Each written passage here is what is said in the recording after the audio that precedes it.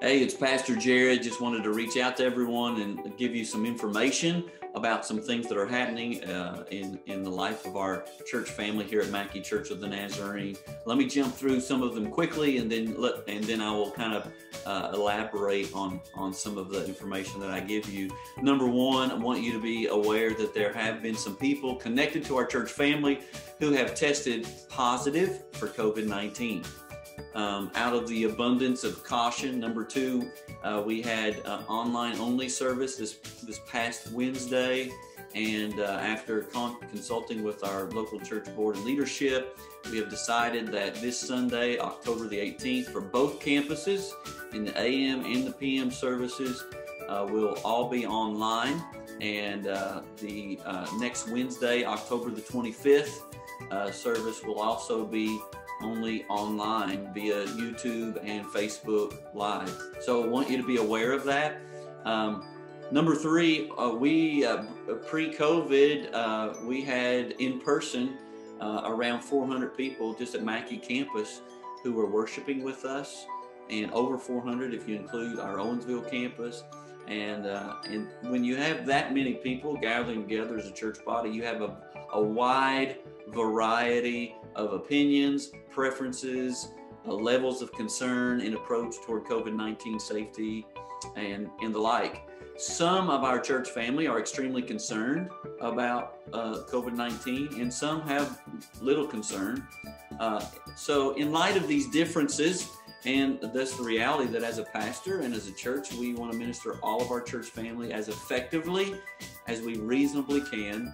Uh, we have decided to make some changes as we get back into the groove of in person worship on October 25th. All right, so on October 25th, uh, there'll be a little bit of a new format. Uh, primarily at Mackey campus. Okay, this will not affect Owensville campus. They will continue as they are. Uh, but at Mackey campus, I want you to be aware of what's going on. So what we're doing is we're going to transition back to um, the service schedule that we had before uh, before COVID hit. So 9:30 Sunday school for all ages, children, teens, adults. 10:30 uh, worship service, uh, nursery, Sunday school, or uh, children's church, and then 6 p.m. worship service and, and the like. However, in addition to that, we will also have a 9 o'clock service. So the 9 o'clock a.m. on Sunday service at Mackey campus will now be a mask required service. So there's a variety of perspectives across the, our church family uh, on on the issue of mask and what levels of safety. So what we are going to do at 9 a.m. on Sundays, if you have some concerns about COVID, if you or if you feel like uh, a mask and everyone needs to wear a mask, or you have any kind of concerns along that line, this service will be for you. So some of our church family is already coming and wearing masks, and maybe they they have that concern, and they that so the 9 a.m. service will be a mask only service. Okay. We also be the first service of the day. So our, our we have a great custodial team. Um, uh, Phil and Debbie work work tirelessly to keep our church not only clean, but also now sterile. So they do a great work doing that. And so on at nine o'clock, everything's going to be sterilized. When you come in, the greeters will have, masks on. The pastoral staff will have masks on.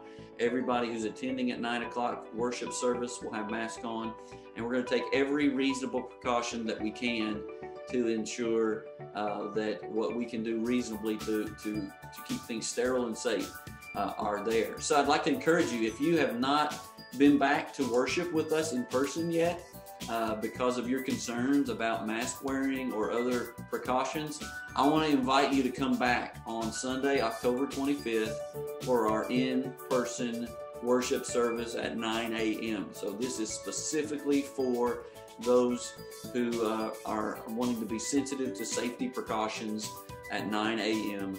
Well, that's that's there. All right. So we're going to do everything that we can to make you aware of what's going on and, and keep things as safe as possible. All right. So that's what's going on there. There will be no nursery, no children's church during that time. Um, Sunday school will, will now start at 9:30. So if you come to that 9 a.m. service, the idea is, is that, that people who, who don't want to wear a mask or will not be wearing a mask uh, will not uh, that there won't be interaction. Okay, so they'll come in after the service has started, and then that's nine o'clock service will go from nine to about nine forty-five or nine fifty, and they will be dismissed, and they will uh, exit out of the sanctuary at Mackey campus. Uh, directly into the front parking lot. Okay, so you'll come in the front doors and you will exit at the end of that service out that side door of the sanctuary so that you can go directly and get in your vehicle and, uh, and, and continue to remain socially distanced. Okay, so this is this is an important change for us, uh, and, um, and, with what's going on at 9 a.m. and then 10:30 a.m. at Mackey campus. Uh, moving into the future, Sunday evening 6 p.m. Sun, Wednesdays at 7 p.m will continue to go along as they have been, unless, and every ministry, unless otherwise specified. So that 9 a.m. service is a specific uh, service uh, that we want to we want to uh, just do everything that we can uh, for those who who have uh, have concerns or and or uh, want to want up the just safety protocols. All right, so we're trying to do that going above and beyond it as, as much as we reasonably can. So let me give you, just kind of flush some of that out. Let me give you, at this point, some of what I would say is your responsibilities of being a part of our church family. Uh, number one, uh, your responsibility outside of the 9 a.m. service, but even there as well, uh, to a lesser extent at 9 a.m., is that you you use your discretion, your personal judgment in attending like the 10:30 a.m. service. Okay, so use your judgment, use discernment, what your level of comfortability is.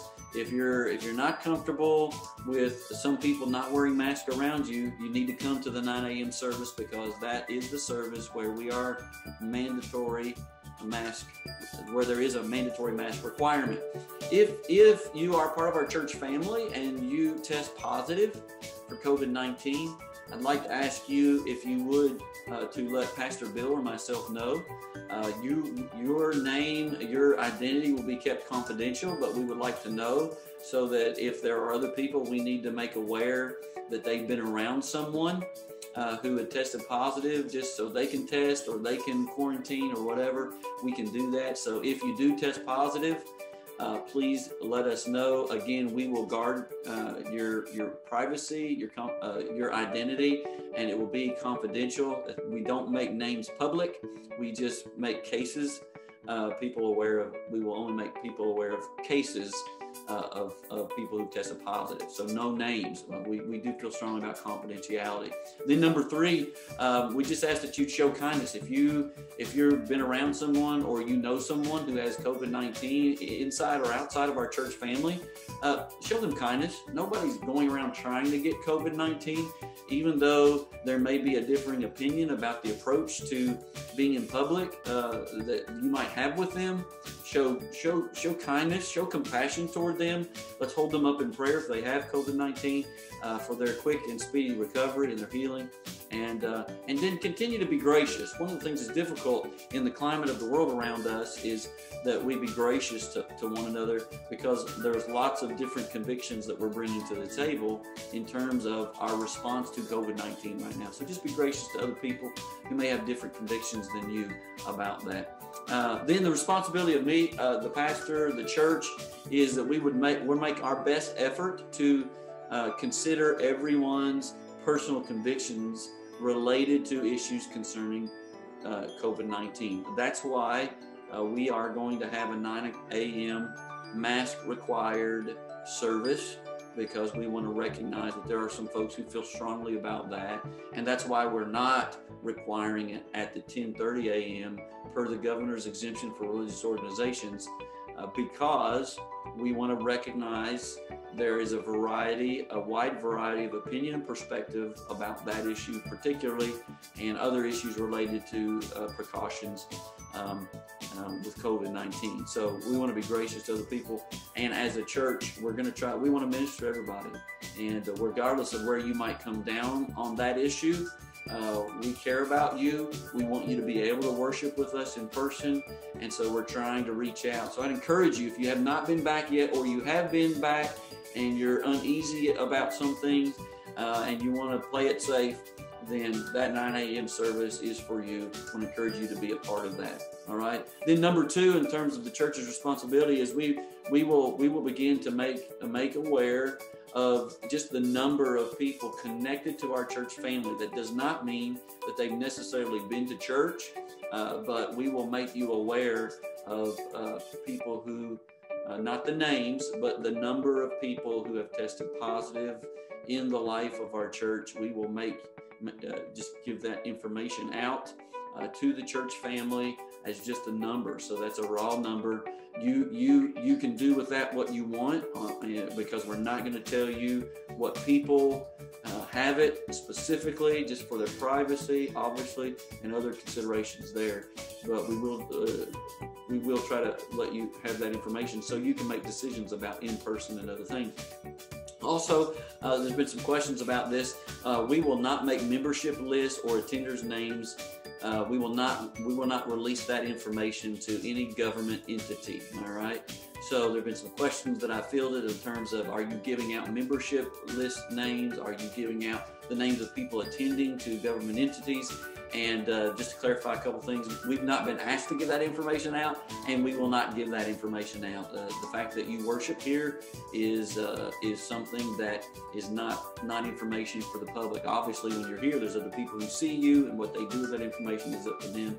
But as a church, we do not give that information out. And then fourth and finally, uh, in terms of what the, your church family, uh, as pastor and as a church, what we're doing is uh, for that 9 a.m. service. We are we are doing everything that we reasonably can to uh, take precautions. Uh, it, obviously, there's no 100% proof uh, a way that we can prevent anyone from ever getting COVID 19, or that would have been done somewhere already. So we can't guarantee that, obviously, but we are letting you know we are taking every reasonable precaution that we can for the 9 a.m. service to make sure that uh, you can feel as comfortable as possible at Sundays, 9 a.m. at Mackey campus. All right. So I want to give you that information. If you have questions about this information, you can contact me directly. I'm welcome for that. If you had other suggestions, if uh, if there's things that you don't like about what I've shared today, uh, just let me know. But in summary, um, this Sunday, October 18th, all of our services will be online, 9 a.m., 6 p.m. online uh, service. And then next Wednesday at 7 p.m., we'll have an online service. We will not have in person services over this next Sunday and Wednesday, October 18th and October the 25th. However, we will begin having uh, in-person services with the new format on October the 25th. All right. So this is for both campuses for uh, Mackey Church of the Nazarene. I want to leave you with with this last thought. One of the things that has been difficult uh, for me as a pastor, but also and more importantly as a Christian, and I think that you will share this if if if you have a heart for the for the kingdom work, is that the great commission that Jesus left with the disciples and ultimately the church of Jesus Christ that goes down to today, uh, that great commission has not been put on hold. We still, as God's people, have a responsibility to engage the world for Jesus. And while that means that we're going to have to adapt and we're going to have to, to, to work out some things and figure out how we're going to do that, it does not mean that we can sit down on the job. We cannot quit being a great commission people.